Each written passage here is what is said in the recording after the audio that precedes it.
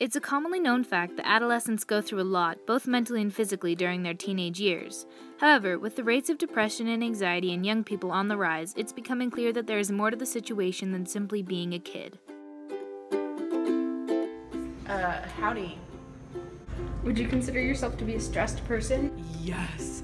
I know hell yeah isn't the appropriate answer, but hell yeah. Um, do you notice stress and depression in your students? Yes, I do. Do you think you have experienced symptoms of depression? An example, lack of motivation, inability to focus, not finding activities enjoyable anymore, lack of sleep, Or being diagnosed with depression? sadness. Yes. yes. I try to be as low stress as possible, but I'm actually really super stressed right now. Yeah. I think yeah, I think that everybody has. It just like comes and goes, you know. Um, I do think I'm pretty stressed on a regular basis. Yes, I have experienced depression. It's a really bummer. It's a big bummer. It's not fun. Most of the time, I'm pretty stress free, but that's because I try to get all my work done inside of my classes. If I can't do that, which was kind of a lot, I get pretty stressed pretty easily, and I feel like being stressed like makes me a bit more short-tempered and angry, and yeah. It just kind of goes in periods where I feel like I get less enjoyment out of things that I would usually enjoy. And sometimes I kind of have a tendency to isolate myself. I was clinically diagnosed with depression about three years ago. Yeah. Um, I, I'm pretty stressed. But why is this happening? According to a recent article from Time magazine, there may be several different factors that are contributing to the difficulties that young people are facing. These include how this most recent generation is the post 9 11 generation, raised in an era of economic and national insecurity. They've never known a time when terrorism and school shootings weren't the norm. They grew up watching their parents weather a severe recession, and, perhaps most importantly, they hit puberty at a time when technology and social media were transforming society. Does the environment that young people are growing up in place a lot of pressure on the minds of growing adolescents, but the rise of technology may play a large role in causing stress, anxiety, and depression in teens. Stressed. Um, school attributes to that. Because of school and theater and just family stuff. My grades and my parents. And I would contribute that mostly to school. School and basketball and my family. I am a big procrastinator and I put off a lot of my work. And sometimes my friends. I also have a lot of responsibilities at home. Just like social relationships. Because I don't do homework on game days. Yeah. Which kind of hurts me sometimes and then I get really stressed about it. Because I have a lot of pressure from my parents to do well, and my sister did really well in school, so.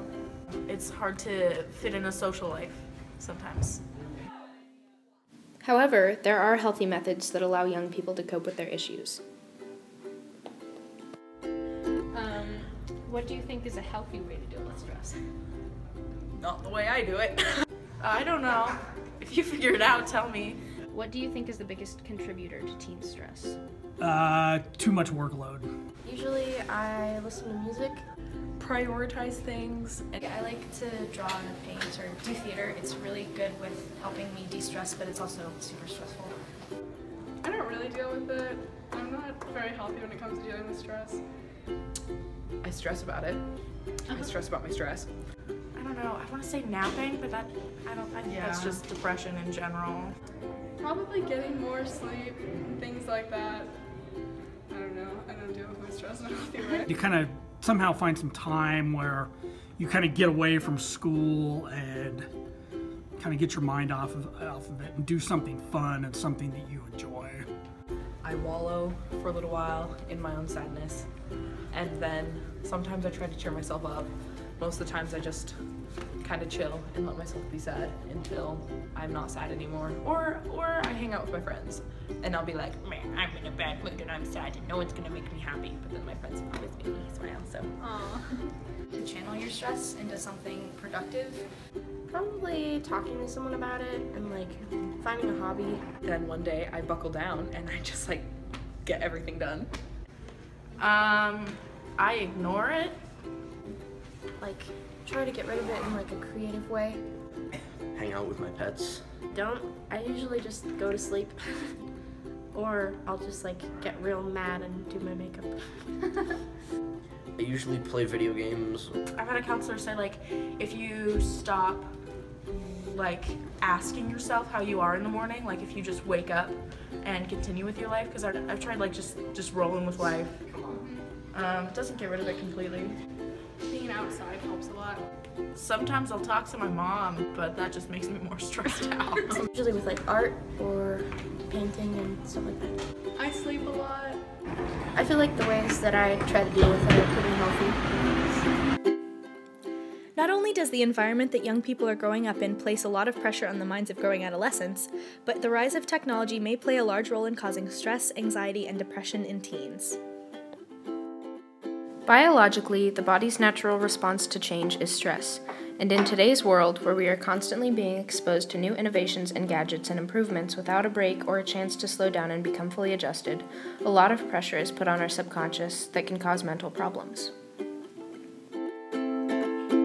Um, Snapchat is really just just a huge, really bad thing for people. It's just like, hey, we all hung out without you. Want to see pictures? That was so fun. Because there's much more information out there you can know and gather, and you can get it much quicker uh, from there. And so that could lead to increased stress. Yeah, definitely. Uh, I think with technology, my stress is kind of elevated sometimes because I am constantly reminded of what's going on around me, and I feel like I have a bunch of obligations to stuff that's outside of me. Not really. Sometimes, but no. Yeah, I actually had technology up until a couple weeks ago because it stressed me out too much and I think it kind of sets unrealistic expectations for how you're supposed to look and be. So I deleted it and I've been feeling a lot better, but there is definitely still pressure to be on social media. I try to distract myself with things like Snapchat and Facebook and just Netflix in general. Does that end up making it worse? Usually because I will just like let it build up, you know, and not address, not ever address it. Okay. Uh, have you ever attended counseling? If so, to what extent did it help you? Um, I did, but I didn't really find it helpful. Uh, I haven't. They were supposed to. I was supposed to, um, but that never happened, so here we are. Um, I think counseling's super great outlet um, for a lot of people who don't necessarily know what to do. Um, it kind of serves as like a starting point, but I think that counseling for me helped to a certain extent because it gave me the tools that I needed to help deal with my stress and my depression, but it couldn't do the work for me. So you have to there's you do have to do a certain amount of work to get better. I've tried going to like counselor. Kind of helps, not really. Uh, I've never attended counseling. Kind freaked me out, and it was just like a stranger that I was talking to too. I attend counseling like once a month, and it's more of like a spiritual counseling. It helps, I think. That's good. Do you think that if there wasn't such a strong stigma surrounding mental health um, and it was more of an open conversation, our generation would have less issues with it? Yeah, I think uh, the stigma is a huge part of why it's such a big issue. I think it's like kind of weird to talk about it with your friends and stuff. Because people, especially our parents, I think, have grown up not talking about their feelings. Do you think your generation dealt with different levels of stress and depression than ours in your teen years?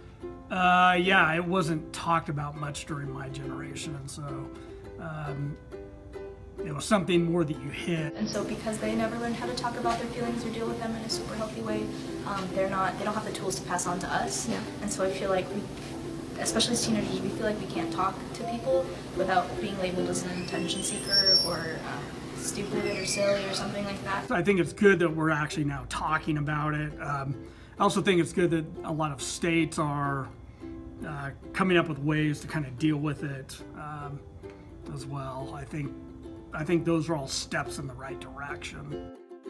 As you can see, there are different ways to learn to deal with the mental and emotional strain that comes with being a young person in this day and age, but as a whole, we need to address the underlying causes of this phenomenon in our societies and learn how to change things before we start handing out the antidepressants. It is also incredibly important to remember that if you suffer from depression or anxiety, that you are not alone and there will always be help available to you. Maybe I just care too much about Ouch. It hurts, man. It hurts to be stressed. It hurts.